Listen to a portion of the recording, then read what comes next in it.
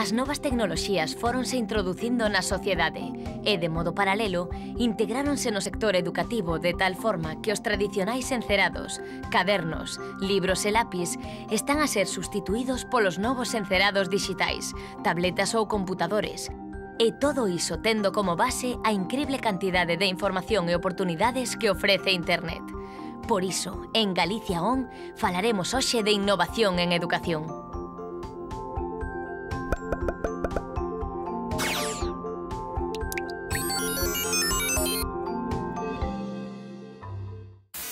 A imprenta de Gutenberg facilitou a democratización da información ao producir os contidos a menor custo.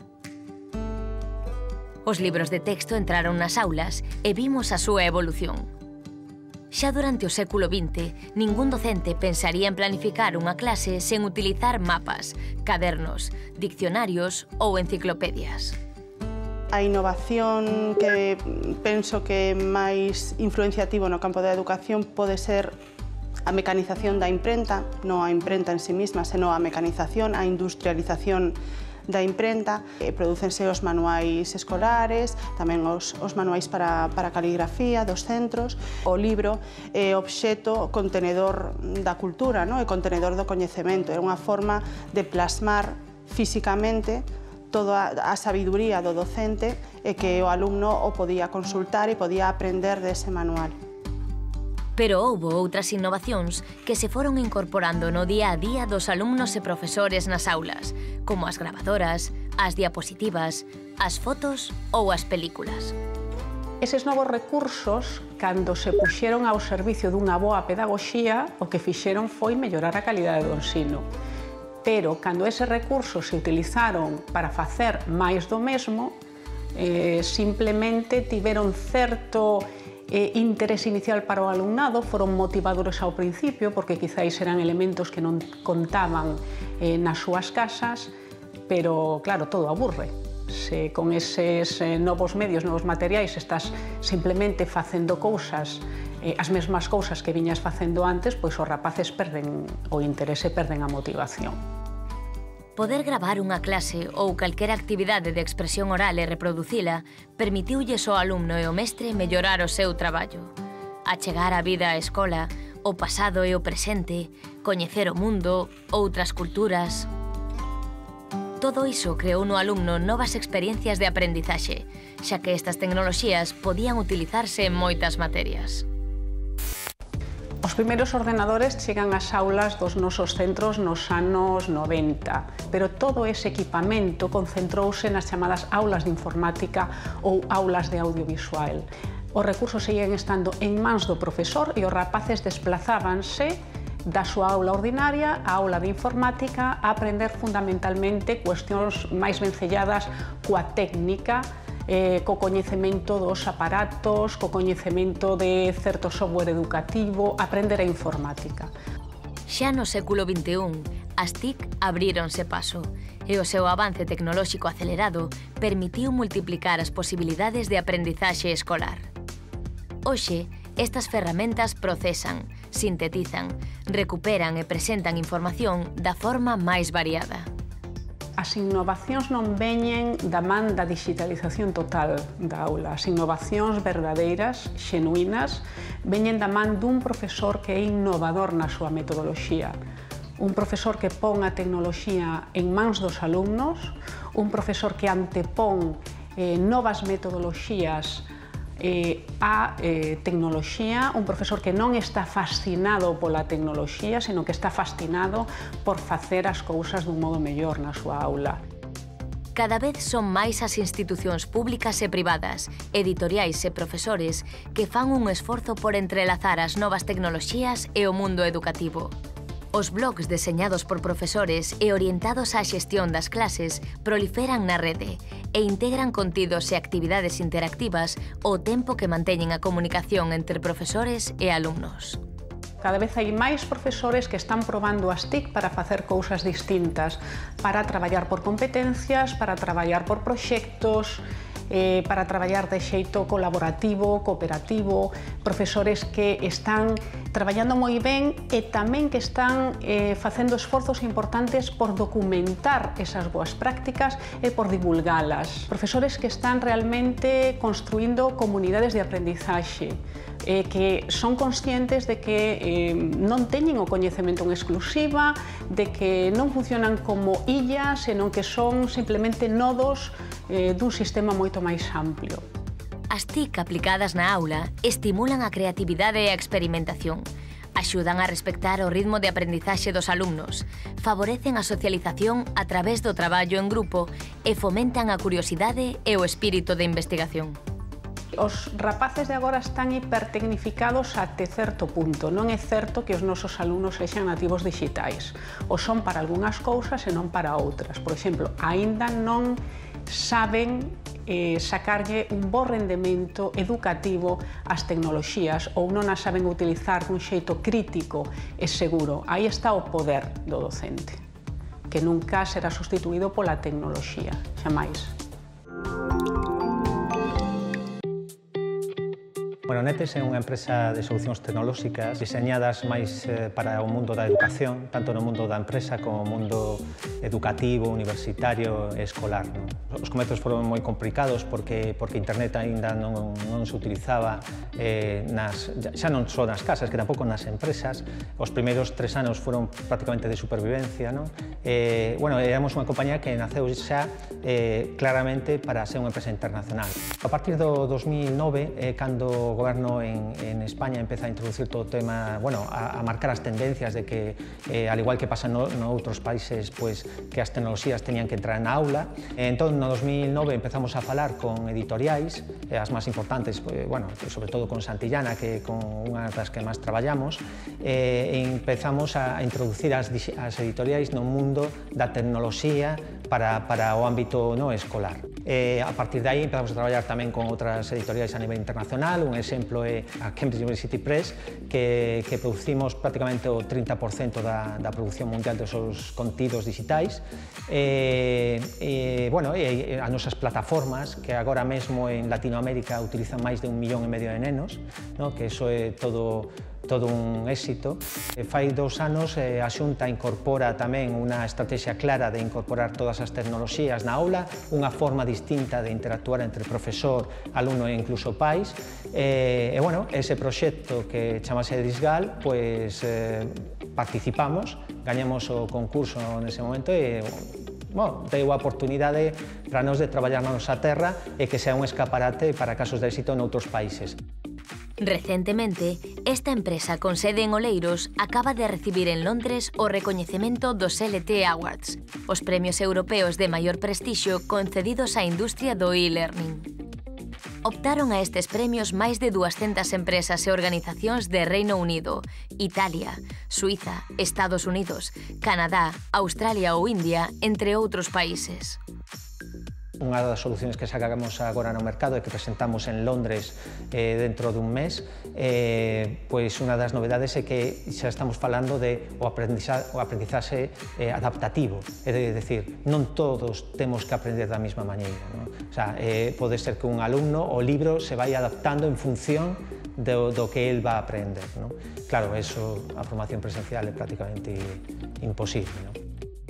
Esta nova empresa leva xa 18 anos como unha das empresas líderes en España no desenvolvemento de solucións e contidos a través das tecnoloxías máis avanzadas para a formación.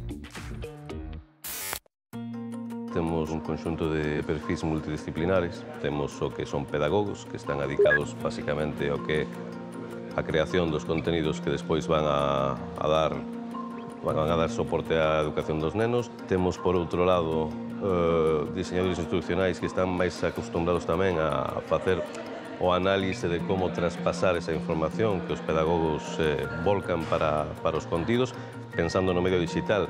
Temos ilustradores, evidentemente, temos tamén xente que se dedica a audiovisual, que para preparar audios, vídeos, o que faga falta.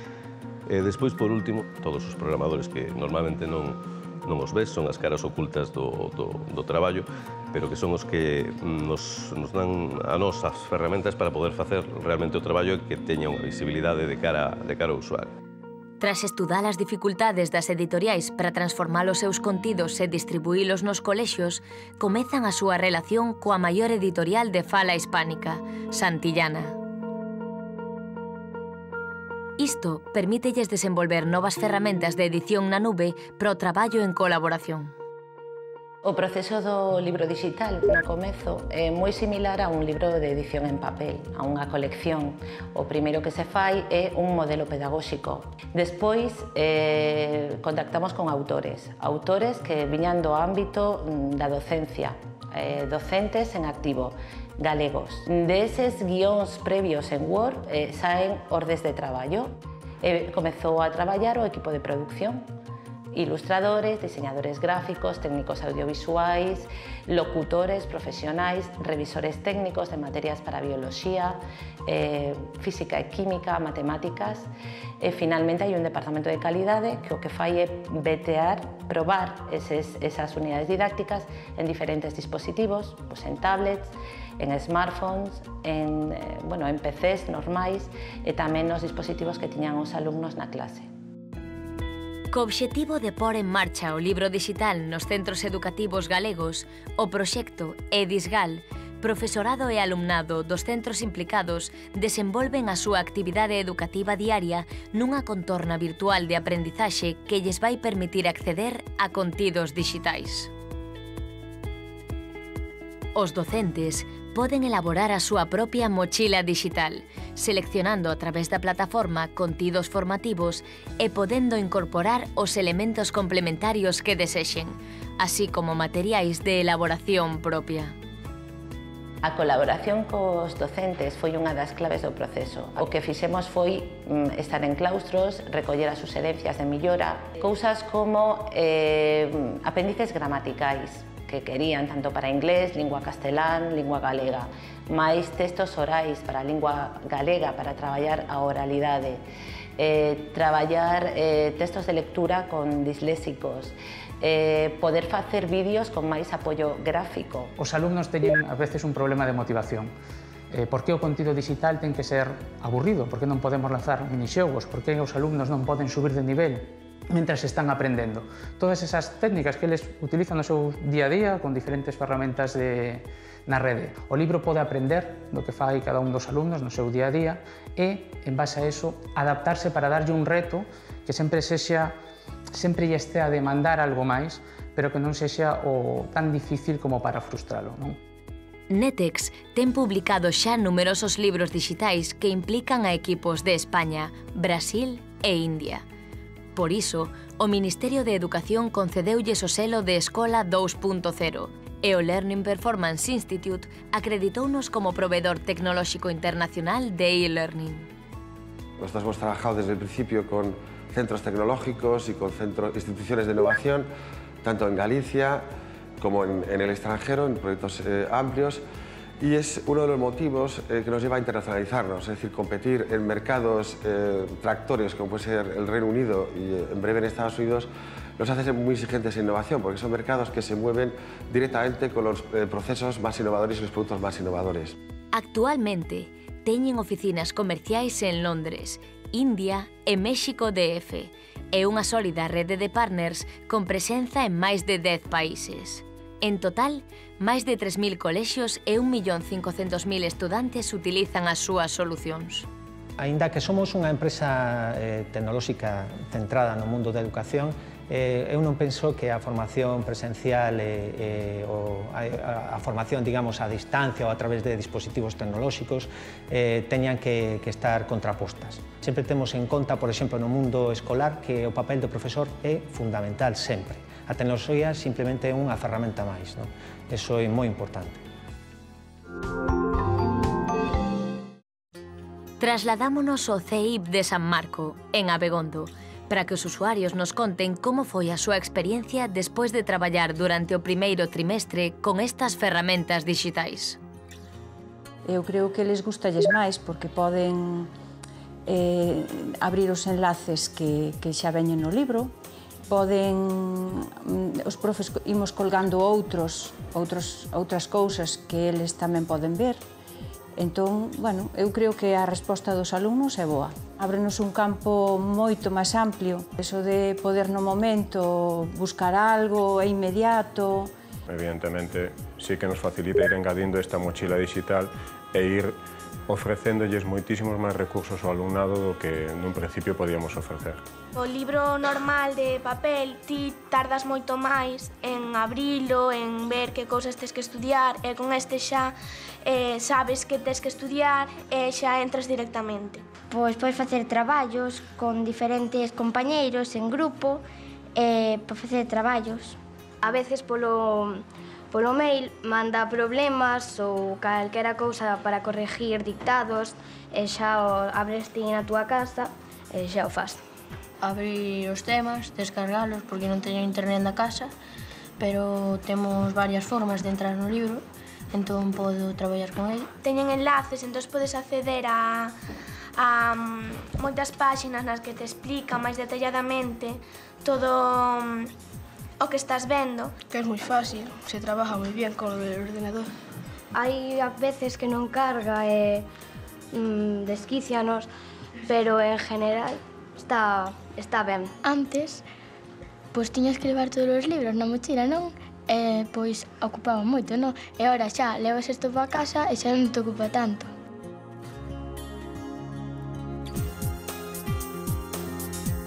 Eu, eu penso que para eles é eh, un atractivo é un atractivo. Quizáis eh, eu sou tamén un poquinho escéptico de que o, o tema do contenido digital e a plataforma sexa o todo. Eu penso que pode ser un moi bon complemento para determinado tipo de actividades, para quizáis eh, facer algunhas cousas un poquinho máis interactivas, máis atractivas, máis, máis motivadoras, pero eu sou un dos que defendo que ten que, que tamén traballar con papel, eh, que ten que traballar dunha maneira un poquinho máis tradicional.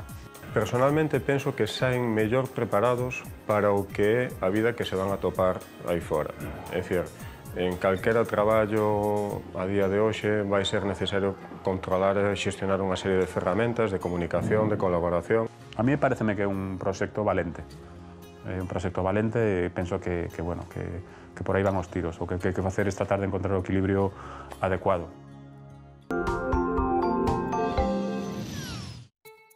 A digitalización do mundo educativo ten en Galicia unha poderosa aliada, a Fundación Pública Galega Centro de Supercomputación de Galicia, tamén coñecido como o CESGA. Trátase dun centro de cálculo de altas prestacións, Isto significa que conta cos supercomputadores máis potentes de Galicia, que teñen como misión contribuir ao avance da ciencia e da técnica mediante a investigación e o uso de computación e ferramentas de comunicación en beneficio da sociedade. O CESGA eh, leva a cabo dúas actividades principais unha actividade de eh, I máis D máis I na área de eh, ciencia computacional aplicada e outra eh, na prestación outraria, na prestación de servicios á comunidade investigadora, científica e tecnolóxica de Galicia e do Consello Superior de Investigacións Científicas de toda España. Desde a súa posta en funcionamento, o centro foi incorporando diferentes supercomputadores e adaptándose ás máximas prestacións da técnica en cada momento, para atoparse sempre na primeira liña dos centros de supercomputación a nivel mundial. O CESGA xestiona a Rede de Ciencia e Tecnoloxía de Galicia. Mediante esta rede interconectamos a totalidade dos centros de investigación públicos ou privados instalados en Galicia, os interconectamos entre eles e damoslle saída ao, red, ao resto das redes de investigación científico e tecnolóxicas internacionais. O CESGA forma parte eh, dos dous eh, sistemas ou equipamentos de computación de altas prestacións máis grandes que hai en Europa a alta calidade das infraestructuras dispoñibles, así como a súa singularidade no conxunto do Estado español, motivaron o recoñecemento da instalación como infraestructura científico-tecnolóxica singular de España. Durante os últimos anos, o CESGA ven facendo dúas actuacións especialmente eh, relevantes, que unha prestar, seguir prestando servicios de alta calidade á nosa comunidade eh, investigadora, científica e tecnolóxica. E, por outra banda, eh, tamén a focalización da nosa actividade para difundir o uso deste tipo de tecnoloxías na PEME en Galicia. Dentro do ámbito educativo, un dos proxectos nos que está implicado o CESGA é a Rede de Escolas na Nube, na que participan varios centros rurais agrupados, ou CRA. Trátase dunha solución baseada en computación cloud e software aberto, que permite, de forma sinxela, que os educadores, o alumnado e as familias das escolas rurais poidan comunicarse, aprender e romper as barreiras físicas que separan as escolas que forman cada CRA para deseñar actividades de aprendizaxe conxunta. Dende o comezo, a verdade é que tuvo un, unha acollida eh, estupenda por parte da comunidade educativa. Nos hai que decir que, que bueno, xa cando comezamos no 2010 a traballar con eles, eh, atopámonos cunha, unha, con uns claustros, con unhas profesoras e profesores tremendamente implicados ca mellora, ca mellora das, eh, das posibilidades da escola. Ao principio, resultounos máis fácil do que pensábamos, porque foi todo tan innovador, eh, tan que nos solucionaba tantas, tantos problemas, que para o Cravo Queixón Vedra, para o profesorado, foi a revolución.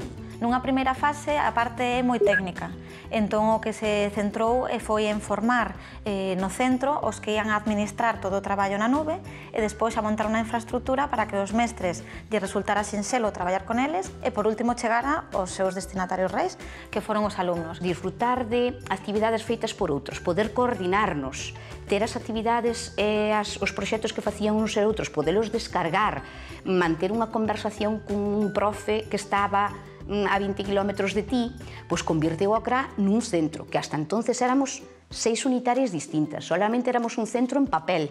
Os nenos tamén, toda a parte tecnolóxica, en principio, pois a maior parte deles apasión, apasionales, eh, foi eh, bueno, pois unha forma de poder levar a casa, de romper a, as, as fronteiras da, da escola na, na parede e de poder incluso pois, ampli, eh, implementar, ampliar as, eh, os coñecementos fora da, fora da aula. Non?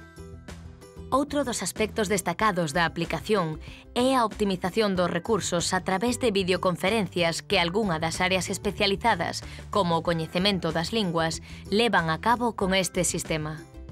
De repente, abeuse unha ventana na que nos podíamos ver e falar cos nosos amigos e compañeiros de outra escola, non? Entón, eso pois esa unión que buscábamos do CRA, de que todos os profes se sentisen dun centro, non dunha escola en concreto, logrouse a través da nove. Un dos problemas que teñen nas, eh, nos CRAs é que son pouquiña xente en cada aula, en cada pobo, eh, pero logo son un centro pues, eh, mediano non? De, de, de poboación. Entón, para traballar xuntos necesitan un autobús e deste, deste xeito podían traballar sin necesidade de, de estar físicamente xuntos. Queremos que a nube sexa facilidades para facer o que xa facíamos. Entón, nós dentro do centro temos unha coordinación na que decidimos cos nenos e os mestres que vamos a traballar e todos nos poñemos de acordo respetando a idiosincrasia de cada aula, porque en cada aula as cousas salen diferentes. Cando un profesor, por exemplo, o claustro decide facer un determinado proxecto, pois dentro das actividades que se programan, se o proxecto vai de animales, pois as actividades que van a estar na nube esa, esas semanas vai a ser de animales, tanto en inglés como en plástica, como matemáticas, inténtase que estea, pois, ainda que sea de contar, pois contan monos, se ve de escribir, pois escriben palabras de animales, é dicir, todo está interrelacionado. Toto je u rodičů doma, kde máme dům, Esta iniciativa de computación na nube tamén chegou a outras escolas europeas, da man do proxecto Rural School Cloud, Cloud Computing for School Networking and Learning Project, onde participaron 18 escolas rurais e insulares de seis países europeos. Neste proxecto ten unha especial importancia a parte tecnolóxica, que adapta a solución ás necesidades das contornas rurais e os dispositivos presentes nos centros, así como as propostas de utilización. O CESGA dende o ano 96 participa en diferentes iniciativas para eh, relacionando eh, a tecnoloxía e eh, aprendizaxe eh, levamos pois, ata a data un orden de uns 30 proxectos de nivel eh, europeo, nacional e regional. Neste caso, os desenvolvementos tecnolóxicos están a ir da man dos educadores e as institucións implicadas para, a través da innovación, permitir a supervivencia das escolas rurais, tan necesarias para fixar poboación ao territorio e contribuir á igualdade de oportunidades entre os alumnos da cidade e os que viven nas zonas rurais.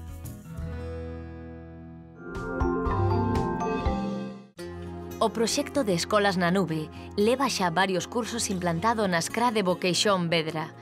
Achegámonos ata aquí para que os seus usuarios nos dean a súa opinión sobre como funciona e as vantaxes que lles proporciona. Eu teño tres fillos e os tres tuveron a gran sorte de pasar polo CRA Boqueixón Vedra.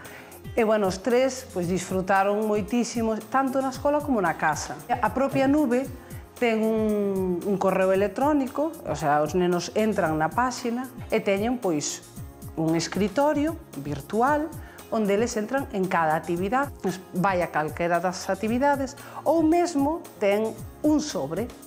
No sobre, se lle vai, pois pode acceder a mandar correos electrónicos. Eu, a verdade, estou encantada.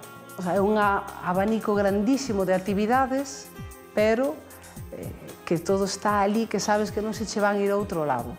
Os nenos traballan na escola, traballan na casa, poden facelo cos pais, poden facelo individualmente porque lles damos esa autonomía e ao final aprenden moitísimo máis do que nun principio pensábamos que podían aprender gracias á nube. Pois tengo o meu usuario, eh, poño, e xa podo entrar. Hai, hai veces que enviamos mensajes, outras que xogamos, podes subir vídeos, canciones, cosas que escribiches ti. Cando ganamos e fomos a Nova Delhi, e Silicon Valley, os auténticos tecnolóxicos perfectos de California, veñen ao noso cole, din Vocation Bedra, bueno, xa foi a revolución, non? Somos unha rede, eh, o interesante é que a rede crecera. Somos moitos cras en Galiza, eh, sería interesante que dende Boqueixón, Ponteceso, eh, Rivadavia máis Vilaboa, isto crecerá para os outros cras que chegara a Rianxo, que chegara a Carballo, que chegara a Monterrey, que chegara a, a Tui e que todos poderanse beneficiar tamén desta rede de escolas na nube. Hoxe vivimos nun mundo conectado e a formación dos novos exixe o emprego da tecnoloxía. Desde sempre, os mestres foron o principal motor da innovación nas aulas, e para este reto, achegáronse a eles institucións e empresas capaces de tomar a iniciativa. Todos eles fan posible que a educación galega se poña en on.